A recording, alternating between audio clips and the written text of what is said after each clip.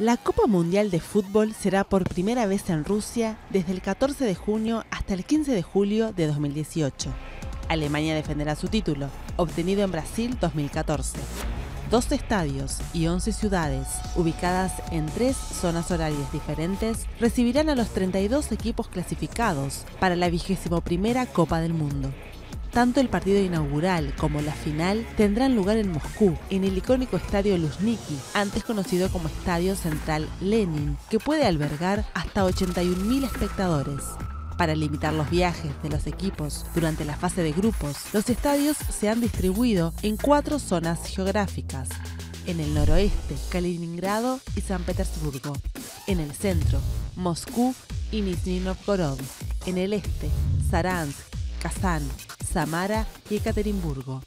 Y en el sur, Volgogrado, Rostov del Don y Sochi.